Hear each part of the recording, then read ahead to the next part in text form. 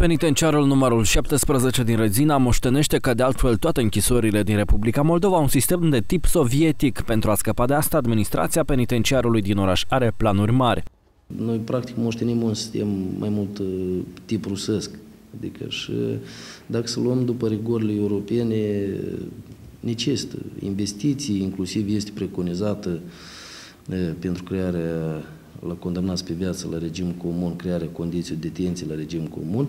Este preconizată o reparație cu modernizare celulelor, cu dar asta e necesită departamentul, sunt uh, efectuează tendere pentru firmele care se ocupe cu reparația, bani, Deținuții din penitenciarul numărul 17 din Rezina au condiții normale de executare a pedepsei, susțin reprezentanții închisorii, totuși se face reparație după necesitate satisfăcător.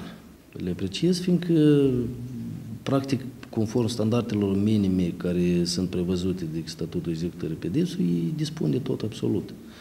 Adică celule, acces la aer liber, iluminare artificială, iluminare naturală, preocupații, pat, lingerii și toate astea. Adică ce și prevăzut conform standardului, hrană de trei ori pe zi caldă, conform normelor stabilite și într-adevăr să dă atât cât vă spun eu cu certitudine că spitalele și poate și alte instituții a statului să odihnesc față de cei și mănânc condamnați. Iau absolut și ou și brânză și slănină și carne și ulei și tot absolut. Eu nu pot spun că e ideal, dar e, e bine.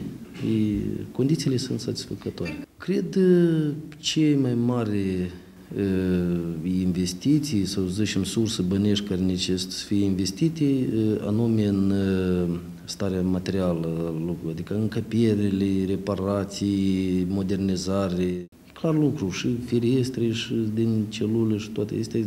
Cred eu că asta este problema și mai principală, adică anume partea materială și și legat de construcții sau reparații încăpierilor. În penitenciarul numărul 17 din Rezina își spășesc pedapsa 366 de persoane, 102 sunt condamnate pe viață.